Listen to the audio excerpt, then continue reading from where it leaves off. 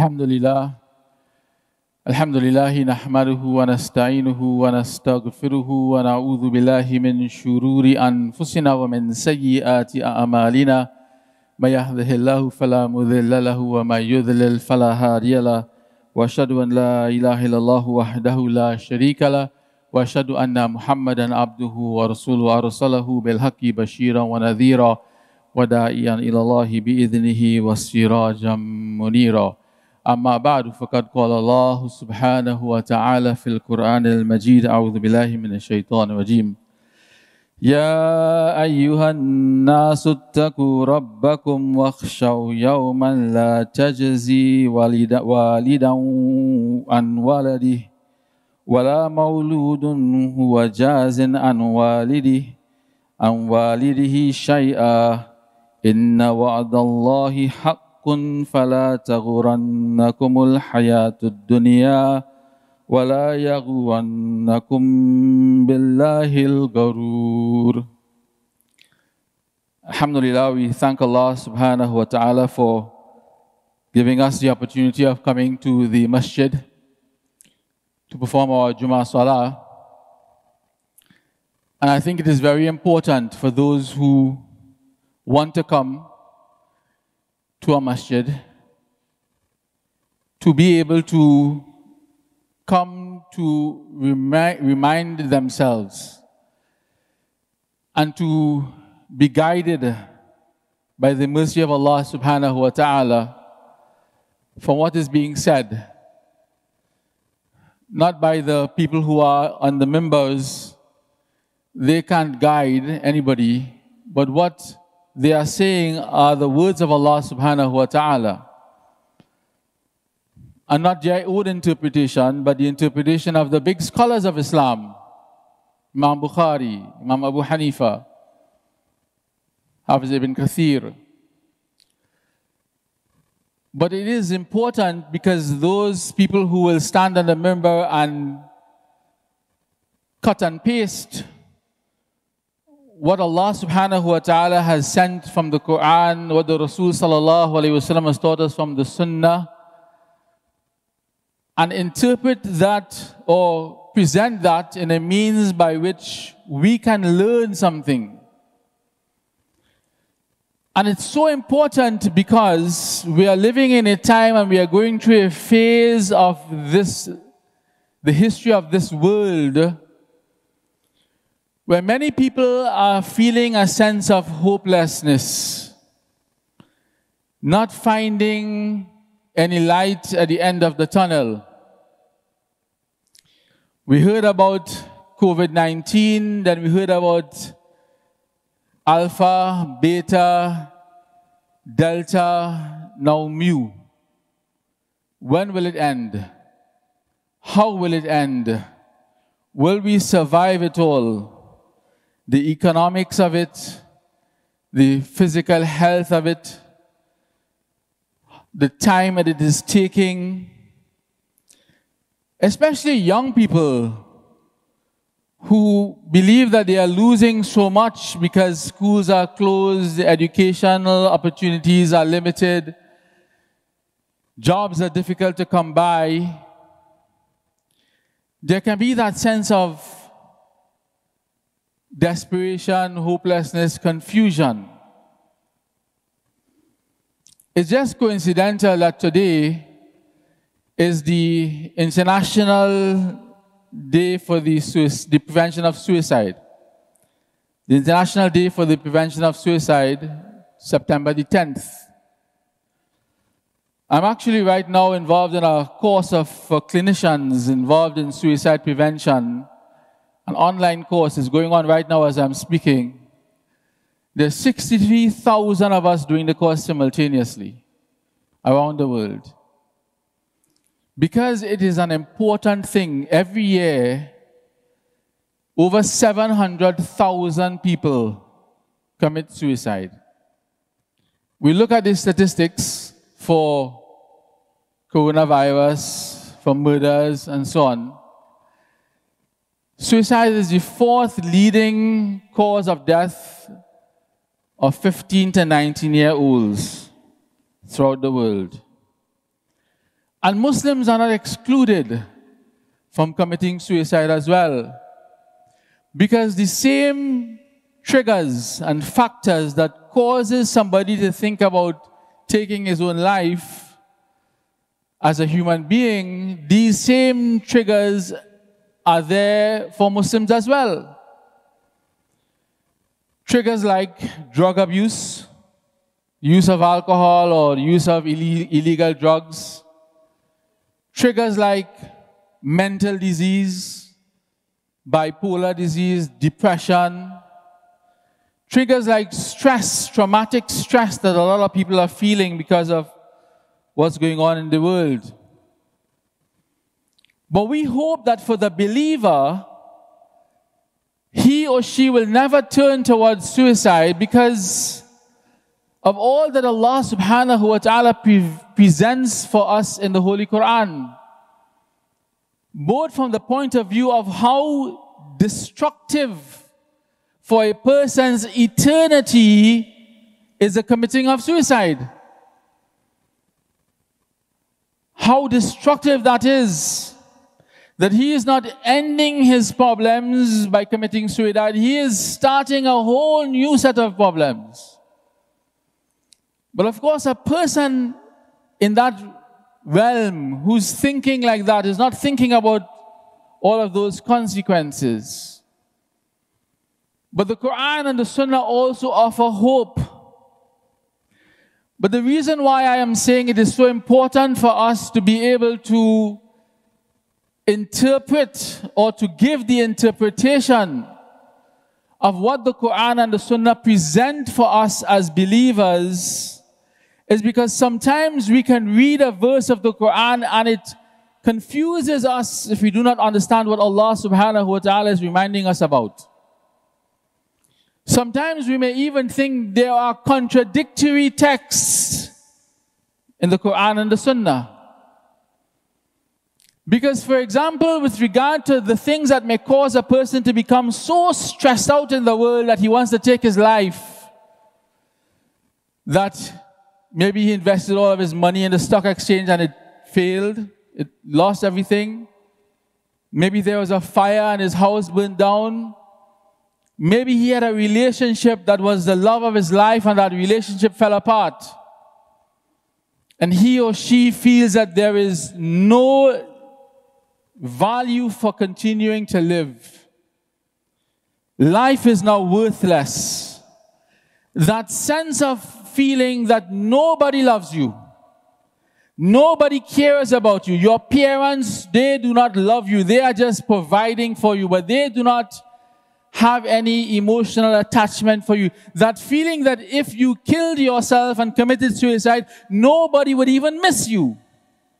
Or in fact, you would alleviate other people's problems by you taking your life is something that perhaps runs through the minds of many people because the researchers have said that the biggest factor that causes a person to commit suicide is that he has tried it before. Is that he thought about it, he wanted to do it, he didn't get through the first time, but at some point in time, he does that. So it is important for us to really understand what does the Quran and the Sunnah tell us about this life and this world. Because most of the stresses that we go through in this world with regard to our physical situation, our material life, has to do with exactly that, this dunya what we have gained in it, what we have lost in it, how people feel, how we feel living in it.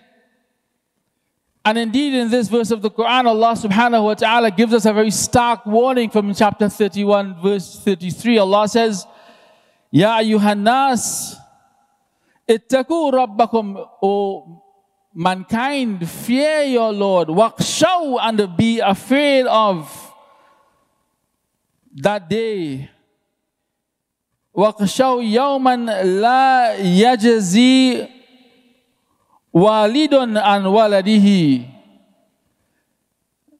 Fear that day when no father will suffice for his son. As a very chilling statement, both from the father's point of view, that that child who you have nurtured and brought up and invested in, that you will have no say on that day about his final destiny. Or from the point of, from the, from the son's side, that that father for whom, upon whom I depended, and who used to guide me and take care of me, he is no longer going to be there with me on that day. Allah says, Fear that day when no father will suffice his son, nor will his son be sufficing his father in the least.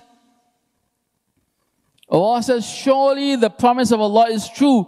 And then Allah says, So the worldly life must not deceive you. Don't let the worldly life ولا ولا يغرنكم بالله الغرور Don't let the worldly life deceive you or don't you ever be deceived about Allah by the deceiver. Allah mentions the world first because this is the stress that we feel. The stress of, I don't have a job. I can't get a wife. I don't have an education. The children's mouths are hungry, their bellies are hungry, their bellies are empty, they don't have food to eat. The debt collector is coming down on me. I can't pay the electricity bill. It's going to be taken away. I can't pay the water bill. Something is happening, stress after stress after stress, about the things of this world. And we become so confused sometimes, so frustrated sometimes, we want to kill ourselves or we want to leave Islam or we want to do something wrong, like steal, join a gang, get involved in some kind of underhand activity. Allah says, Do not let this world deceive you, and do not be deceived by the deceiver. And Allah mentions the world first because this is actually the tool that the deceiver uses. This is what shaitan uses. Shaitan makes you feel, makes us feel we are no good in this world. We are useless in this world. We have no value to anybody in this world. There is no love for us in this world. There is nothing for us left. And we want to leave this world and kill ourselves. The Rasul sallallahu also say, made statements about this world that would make you think that there is no value in it. In one hadith, the Messenger sallallahu alayhi wasallam, hadith found in Sahih Muslim, he says, Wallahi, by Allah, by Allah, ma dunya fil akhirah, the the, the world compared to the next life, illa is nothing except mithlu, except the example, ma yaj'alu ahadukum. The example of one of you putting his hand fi yammi, in his finger into the yam, into the ocean. فَلْيَنْظُرْ بِمَا يَرْجِعُ so look, look at what comes out. فَلْيَنْظُرْ Look at what comes out, what returns up. So the Messenger sallallahu alaihi wasallam is saying, this ocean, this is the hereafter. This little bit of water that comes out with the finger when you extract it from the ocean, this is this world. So this world is nothing compared to the hereafter. So why are we even living in this world? Why even working in this world? A person may feel there's nothing. There is nothing to gain. The Messenger sallallahu brings another example. He says in a hadith, the food of man has been made as an, as an example of the uselessness of life. The food of man has been made an example of the worthlessness of life. For it does not matter how prepared and seasoned the food may be, look at what becomes of it in the end. Hadith found in Ahmad. Look at what becomes of it in the end. So, on the one hand, a person may think then this life really means nothing. Even if I leave this world and I destroy my life, there's no value in this world. Yet, as a believer, the Jannah that we strive for, the hereafter that we are aiming to be happy in, depends on our actions in this world. In fact, the Rasul sallallahu alayhi wasallam, he used to say in one of his du'as, Oh Allah, rectify my religion, that is the guardian of my affairs. Wa aslih li dunyaya, and rectify my dunya. Rectify my worldly life. Allati fiha ma'ashi. Because in it, in it is my livelihood. Rectify this life because in it is my livelihood, meaning make my livelihood easy for me. Make my attaining of those things that I need and I require to live in this world easy for me. So on the one hand, we are being told that this life is worthless. On the other hand, we are being shown to make dua for good of this world. The dua that we make when we go around the Kaaba, Rabbana atina fid dunya. First thing. First thing. Why would we be asking for that? Oh Allah, give us the good of this life and the good of the hereafter. It means that the Rasul is also telling us that we should think about our life in this world in a positive way and about what we earn in this world. One hadith, the Messenger wasallam says, if the final hour comes, while you have a plant or a plant shoot or a seedling in your hands, and you are able to plant it before the hour comes, then you should plant it. So a person may say, well, what sense does that make, ma'adallah? I'm not saying it doesn't make sense. I'm saying a person may say, if the end of the world is here, why am I planting a, a plant? Perhaps there is still enough time for you to reap something from that. So the attitude that the Rasul sallallahu wants us to have from these ahadith is that do not make your life worthless but utilize all of the opportunities you have to be productive, to be positive, to do good. But it seems as though it's contradictory. And it seems as though this is why some people, especially young people, may feel there is no value for me in this life. There is nothing to live for in this world. This world is worthless, it is temporary, it is the chattels of deception. Why am I even worrying to build a career? Why am I even worrying to find a job? Why am I even worrying to get an education? One of the scholars, Ibn Rajab, he gives an explanation about this contradiction that could come up in somebody's mind.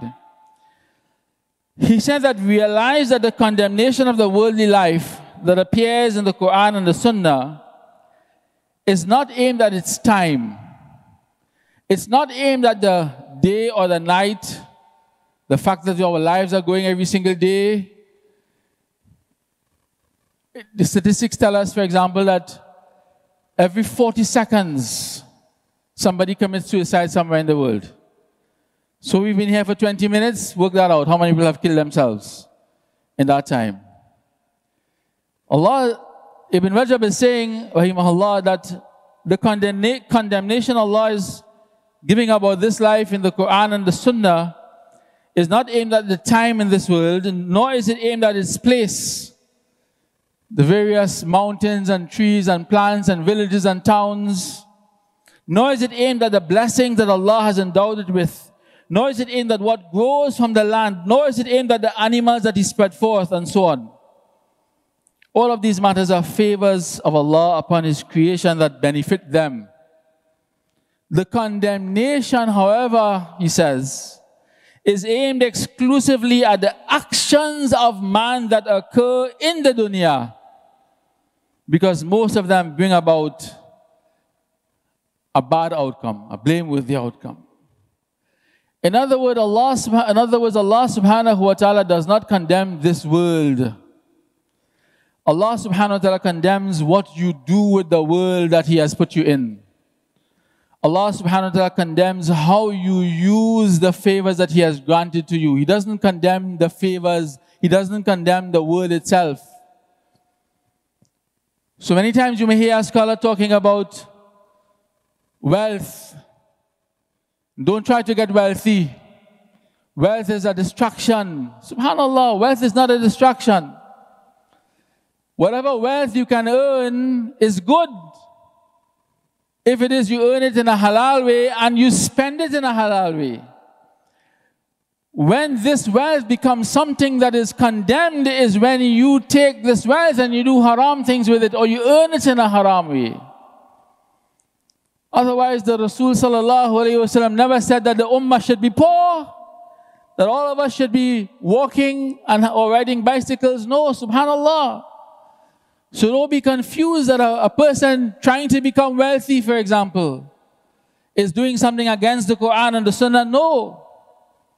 There's nothing wrong with that at all. It's how we use the things that Allah has given to us in this world. A simple thing like social media, sometimes we condemn social media ourselves.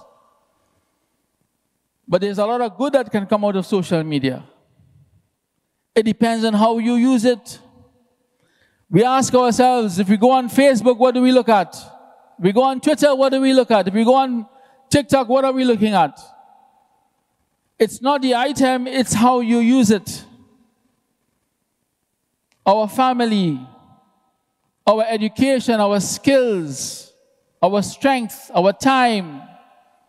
These are all favors from Allah subhanahu wa ta'ala that Allah subhanahu wa ta'ala blesses us with is how we use them that make them either good for us or bad for us.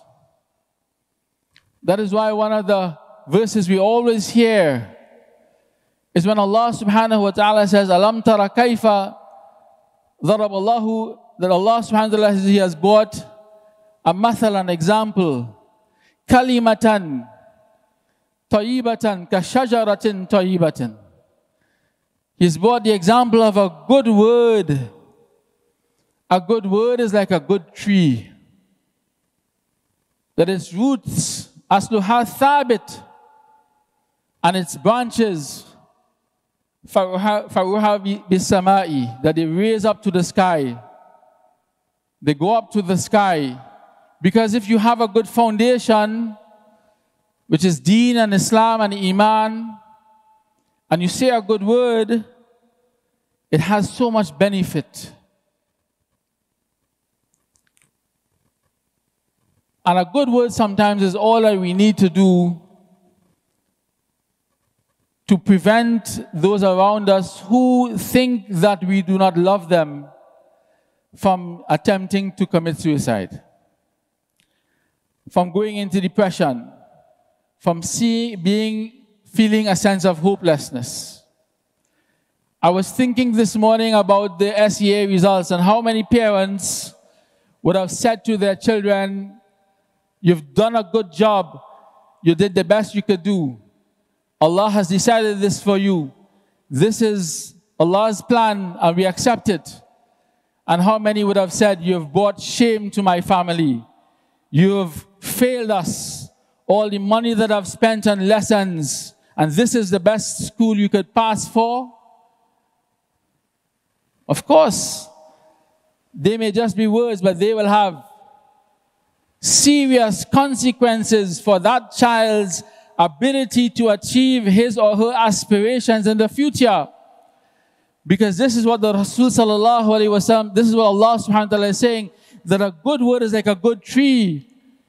If it is, it has good roots and it's a good word, it will have branches that reach up to the sky. And it will bear fruits. Kullahin in every season. Bizni Rabbiha by the permission of Allah.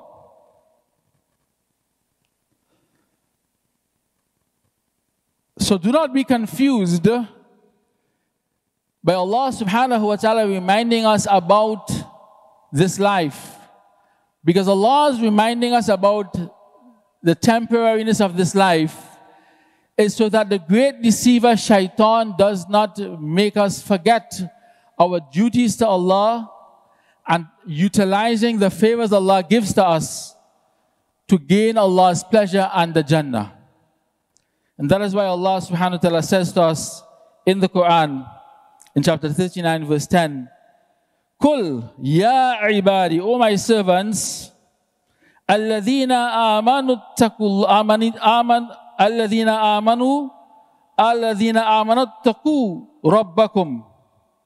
O my servants who have believed, ittaku rabbakum.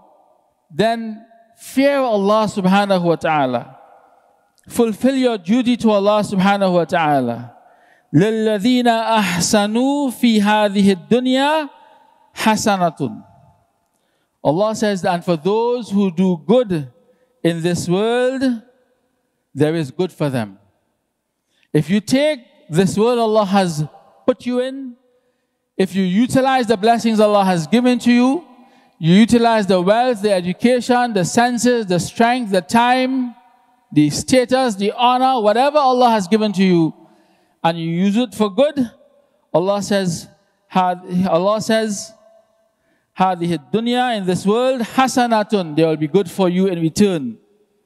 And Allah says as well, "Well, ardu wa wasi'atun. Well, ardu wa wasi'atun. And the earth of Allah, it is wide and spacious.